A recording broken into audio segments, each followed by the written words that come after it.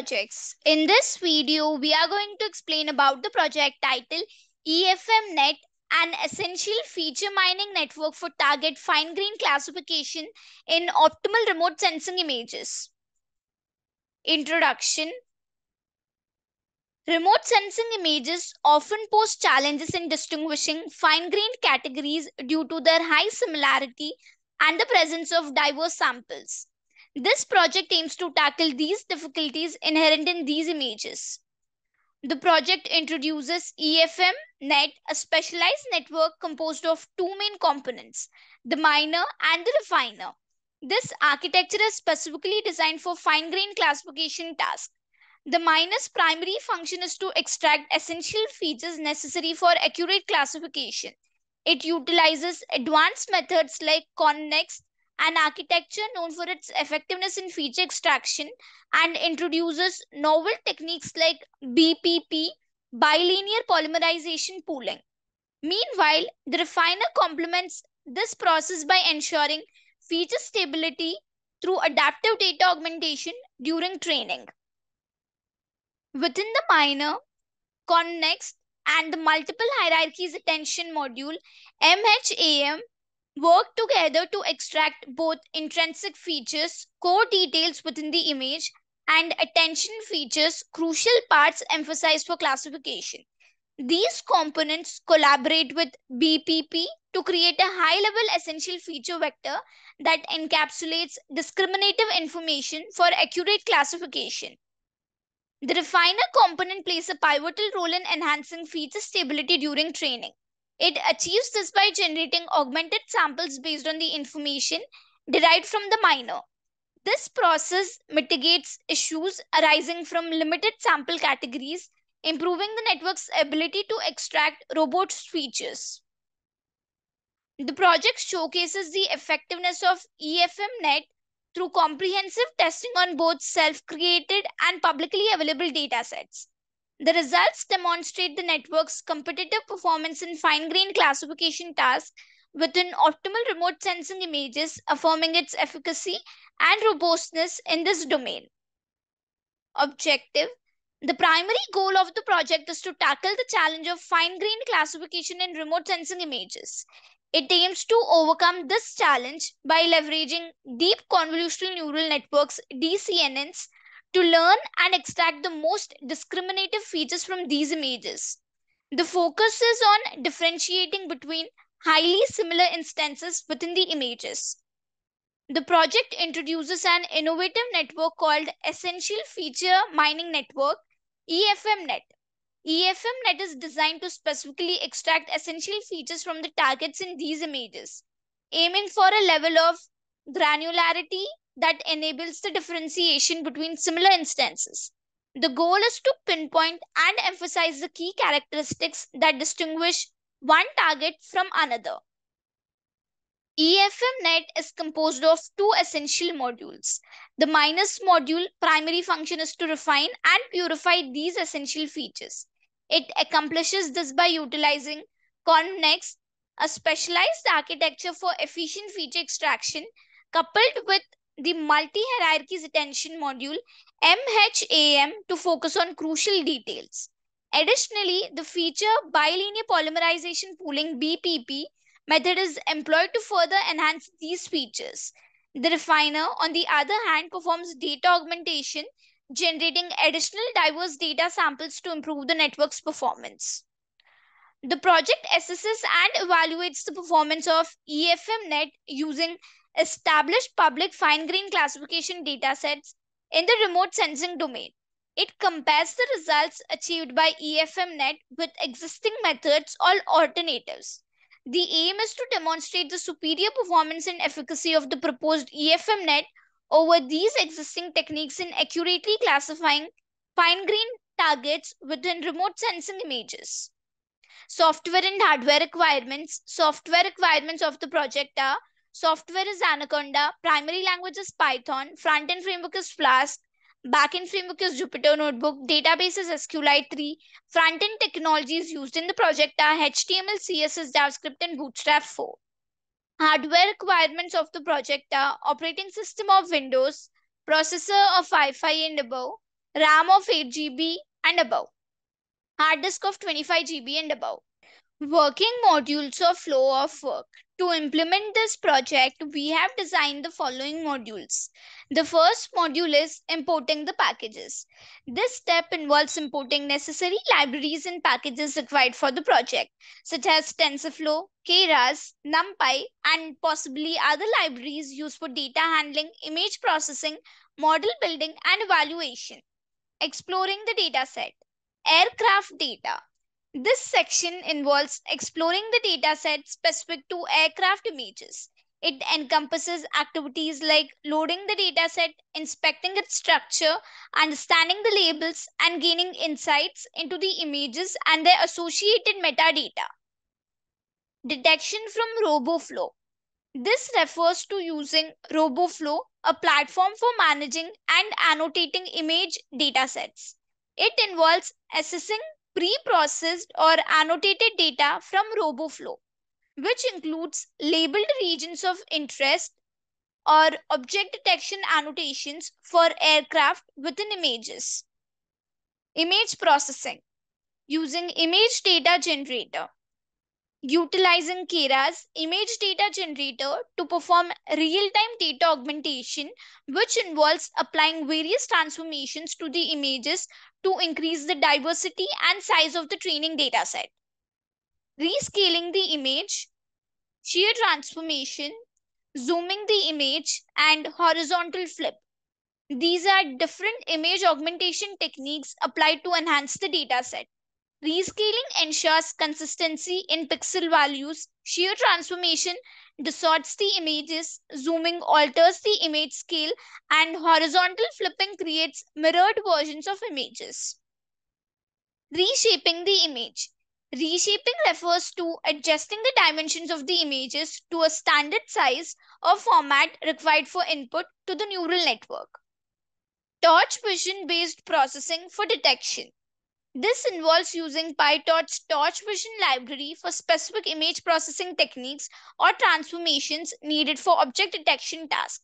It includes operations like resizing, normalization, or transforming images to match the input requirements of the object detection model. Building the model. This module involves the creation and design of the neural network model for fine-grained classification. It includes defining the architecture, selecting layers such as convolutional layers, pooling layers, etc., configuring hyperparameters, and compiling the model for training. The model architecture is crucial for EFMNet's core objective, extracting essential features for fine-grained classification in optical remote sensing images. Training the model. This stage involves feeding the prepared dataset into the EFMNet model for training. It includes iterations where the model learns to extract essential features from the input images, adjusting its internal parameters to minimize prediction errors and improve accuracy based on labeled data. Flask framework with SQLite for sign-up and sign-in. This module integrates the Flask framework, a web development framework in Python, along with SQLite, a lightweight relational database management system. It implements user authentication functionalities such as sign up, user registration, and sign in user login mechanism using Flask for user management and SQLite for storing user credentials securely. User upload an image for analysis. This part involves the front-end aspect where users interact with the system. Users can upload images they want to analyze for fine-grained classification. This functionality allows users to submit images to the system for classification using the trained model. The given input is pre-processed. Upon receiving the user uploaded image, the system pre-processes the input image to make it compatible with the trained model. This involves resizing, normalization, or any other required pre-processing steps to ensure that the image conforms to the model's input requirements. The trained model is used for predicting the result. The pre-processed image is fed into the trained EFMNet model. The model leverages its learned parameters and feature extraction capabilities to predict the class or category of the target within the image.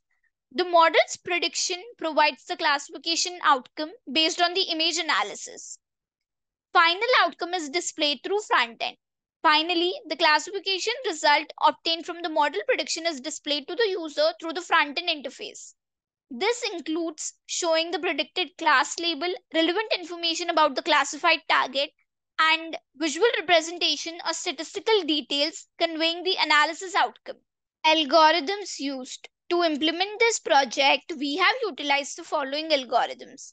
For classification, we have used the following algorithms. The first one is EFM-Net torch-based model. This refers to a custom or tailored model designed using the PyTorch framework specifically for the project's objectives. It combines elements from various architectures or incorporates unique features customized to the fine-grained classification task. The design involves intricate adjustments in layer configurations, activation functions, or novel architectural components to enhance feature extraction capabilities. ResNet 50. ResNet 50 is a variant of the ResNet residual network architecture featuring 50 layers. Its key innovation lies in residual connections or skip connections. These connections enable the network to skip some layers, elevating the vanishing gradient problem and allowing for easier training of deeper networks. ResNet 50 excels in capturing detailed and hierarchical features from images due to its depth. VGG16 VGG16 is a deep convolutional neural network known for its uniform architecture. It consists of 16 layers, primarily organized in a series of convolutional layers, followed by pooling layers and fully connected layers. VGG16 is characterized by its simplicity, using small 3 to 3 convolutional filters across multiple layers which helps in learning rich and detailed features from images. CNN, Convolutional Neural Network. CNN is a foundational architecture for image processing tasks. It consists of convolutional layers, pooling layers, and fully connected layers. Convolutional layers apply filters to the input image, extracting local features. Pooling layers downsample the features, reducing computational complexity. CNNs effectively learn hierarchical representations of image data, capturing spatial relationships and patterns. DCNN, Deep Convolutional Neural Network. DCNNs are extension of CNNs, generally referring to deeper and more complex networks. These architectures use multiple convolutional layers, often with more sophisticated designs, to capture highly abstract and intricate features from images. These CNNs excel in learning complex patterns and representations, making them suitable for challenging image analysis tasks. DenseNet. DenseNet or dense convolutional network introduces dense connections between layers. In a DenseNet architecture, each layer receives direct input from all preceding layers. This dense connectivity fosters feature reuse, enhances gradient flow, and encourages feature propagation across different depths enabling the network to efficiently learn features at various scales and abstraction levels. Inception V3 Inception V3 is a part of the Inception architecture series developed by Google. It utilizes a multi-branch architecture with parallel convolutional pathways of different receptive field size. These pathways capture features at various scales and resolutions allowing the network to effectively extract diverse and multi-scale features from images, which is particularly useful for recognizing fine-grained details. As an extension, we used other deep learning models to produce a more robust and accurate final prediction, and we also utilized YOLO family for detection. Comparison graphs. Comparison graphs offer a visual breakdown of how a model performs across essential evaluation metrics. Models are compared with the parameters accuracy, precision, recall, and F1 score. This is the accuracy comparison graph. On the x-axis, we have accuracy score, and on the y-axis, we have algorithm name. Accuracy is a measure of the overall correctness of a classification model. It calculates the ratio of correctly predicted instances, both true positives and true negatives, to the total number of instances. This is the precision comparison graph. On the x-axis, we have precision score and on the y-axis, we have algorithm name. Precision is a metric that assesses the accuracy of positive predictions made by the model. It calculates the ratio of true positives, correctly predicted positive instances to the total number of positive predictions, true positives plus false positives. This is the recall comparison graph. On the x-axis, we have recall score and on the y-axis, we have algorithm name. Recall, also known as sensitivity or true positive rate, measures the model's ability to correctly identify all relevant instances in the dataset. It calculates the ratio of true positives to the total number of actual positive instances, true positives plus false negatives. This is the F1 comparison graph. On the x-axis, we have F1 score and on the y-axis, we have algorithm name. F1 score is the harmonic mean of precision and recall. It is a balanced measure that considers both false positives and false negatives. It is calculated as two times the product of precision and recall divided by the sum of precision and recall. It provides a single metric that balances precision and recall, making it useful when we want to consider both false positives and false negatives in the evaluation. The algorithm, which is performing best in all performance metrics, will be used for prediction execution. To execute this project, first we need to open the code folder which contains the project source code files. This is the code folder. This is the static folder. This folder consists of files related to CSS, JavaScript, and Bootstrap. This is the templates folder. This folder contains all the HTML pages used in the project. It typically includes files like index.html, about.html, and more which represent different pages of the website. This is app.py file. This .py file contains the information related to front-end logic. It includes code written in Python that handles server-side operations such as processing user requests, interacting with the database, and generating dynamic content to be rendered in the HTML templates. This is notebook.ipynb file. This is a Jupyter notebook file which contains a combination of code, graphs, and outputs all in one place. It allows users to write and execute code in individual cells, making it a popular choice for data science. This is signup.db file. This file is the database file used to store user information. First, we need to copy the path of the code folder from the address bar of the file explorer. So here I'm copying the path. Now open the Anaconda prompt use the cd command followed by a space and paste the copied path and hit enter. This command is used to change the current directory to the code folder's path. Compile the app.py file using the command python space app.py. So here I'm typing python space app.py and hit enter. This command will execute the Python script and perform a runtime check for any syntax errors or logical issues. After running the app.py file, the Flask framework will host the application locally at the default address localhost, which is this, and port, which is this. Now copy this local link provided by the Flask framework. I'm copying the link and paste this copied link into any web browser. I usually prefer Google Chrome and hit enter. The homepage of the project is displayed in the browser. This is the front end built using Flask framework. If we are a new user, we need to register first. So click on register button here. So here we need to enter all these details to register, but I have already registered. So click on sign in link here. So here we need to enter the username, and the password which we have registered and then click on sign in.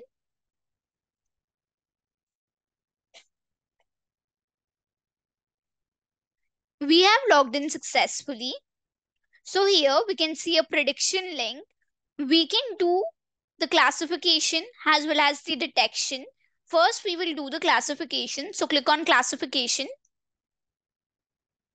So here we need to upload the image and after uploading the image, we will predict the type of aircraft. So now click on choose file.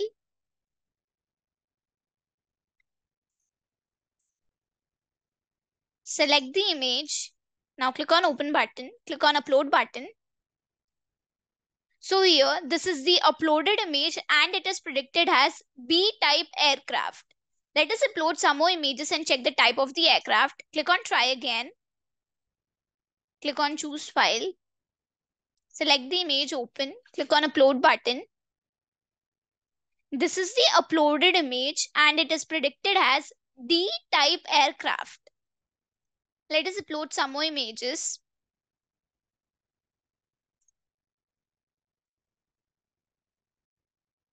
This is the uploaded image and it is predicted as C1 type aircraft.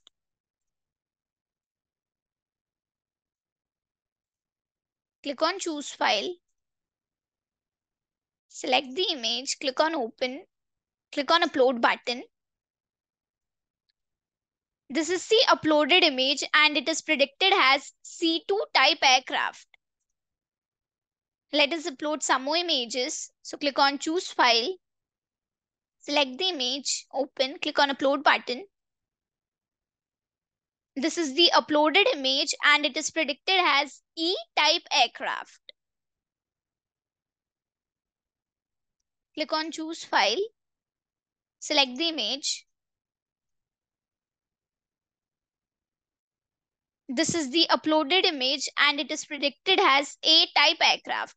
In this way, just by uploading the aircraft image, we can predict the type of the aircraft. Now we will do the detection. So click on prediction link here and now click on detection. So here we need to upload the image. So click on choose file. Select the image, click on open. Now click on upload button. So here we can see that this aircraft is detected and on top of the aircraft we can see the type which is 15.0.60. Let us upload some more images. Click on choose file. Open. Click on upload button. So here we can see that the aircraft is detected by a bounding box and on top of the bounding box we can see the type which is 10.67. Let us upload some more images. Click on choose file. Select the image, open, click on upload button. So here we can see that this aircraft is detected by a orange color bounding box and on top of the bounding box we can see the type of the aircraft which is 10.0.74. In this way by uploading the image we can detect the aircraft and the type of the aircraft. Now click on logout button here. The conclusion of the project is the conclusion highlights how EFMNet effectively tackles the challenges posed by fine-grained classification in remote sensing images. Despite the high similarity between different classes and the diversity within the dataset, EMFNet demonstrates its ability to accurately extract essential features necessary for classification.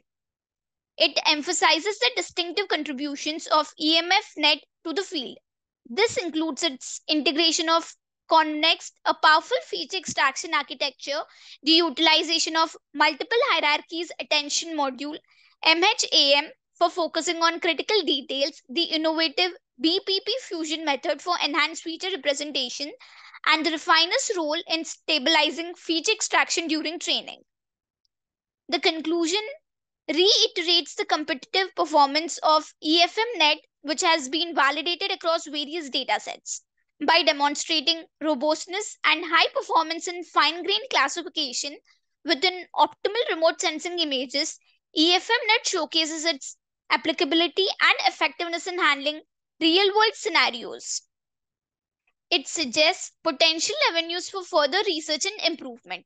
This includes optimizing network architectures beyond the current state, exploring and utilizing new datasets to expand the model's capabilities, and exploring broader applications in both remote sensing and deep learning domains.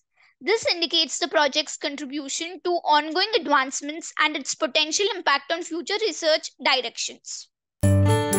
Thank you for watching video. For more projects please visit our website www.truprojects.in. For updates on latest project videos, Please visit TRU Projects YouTube channel and subscribe.